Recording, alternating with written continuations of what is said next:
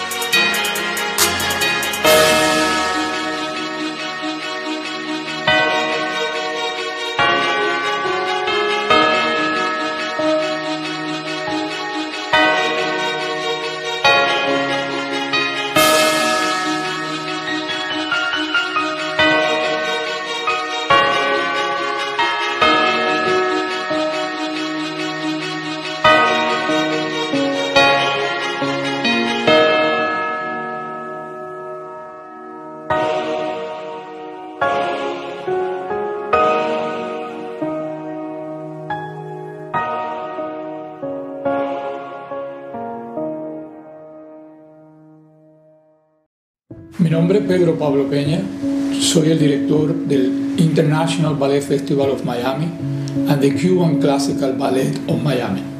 Actualmente también director general del Miami Hispanic Cultural Center, una nueva sede que permite el desarrollo de las artes hispanas en la ciudad de Miami. La ciudad de Miami ya está ofreciendo un mayor, un mayor desarrollo a la cultura. Se está viendo una actividad mayor cultural me recuerdo que cuando yo llegué en los años 80, las actividades culturales no eran las suficientes. Y yo siempre me pregunté, bueno, ¿por qué una ciudad que tiene tanto empuje como Miami, eh, particularmente porque es de interés turístico para muchas otras ciudades y para otras partes del mundo, no tiene un impacto fuerte a nivel cultural?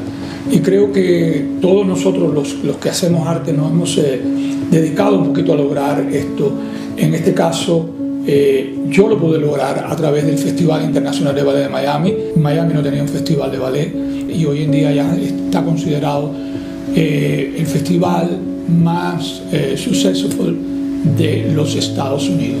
Tenemos nosotros un compromiso, un compromiso no solamente de pasión y de amor a nuestra carrera, sino un compromiso con nuestra ciudad, en este caso en la ciudad donde vivimos. Después me di a la tarea igualmente también de hacer el Cuban Classical Ballet de Miami.